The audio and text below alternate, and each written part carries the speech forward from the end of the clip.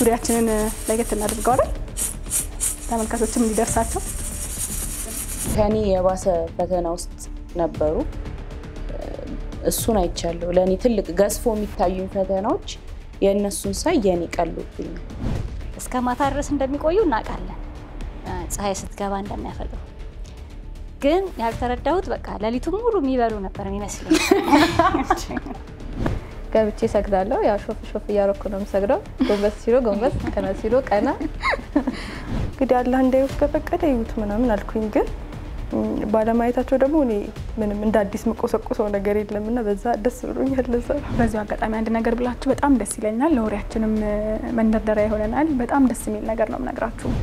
ሶስቱም አንድ የሚያደርጋቸው ሶስቱም ከቤተሰቦቻቸው ጋር ትግል ነበራቸው። ያ ነገር እኔን አስቀንቶኛል።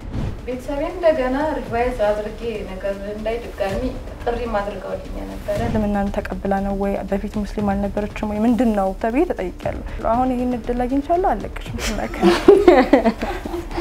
ሁሉም ሰው የራሱ የሆነ የህይወት መንገድ አለው አይደለ? እኔ በቃ አልፈልግም። እኔ ማልናገር ተስፋዬ በጣም ነው በጣም ብሷል ማለት አሁን በጣም እጓጓለሁ እና እንጃ ቀኑ በጣም ይርቅብኛል።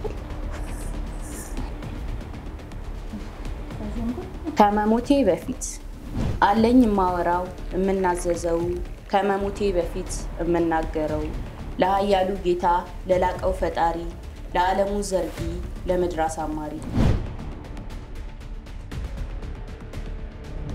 የእኔ መንገድ ልዩ የረመዳን መሰናዶ ቅዳሜ ምሽት ከአራት ሰዓት ከሰላሳ ጀምሮ በሚንበር ቲቪ ጠብቁን።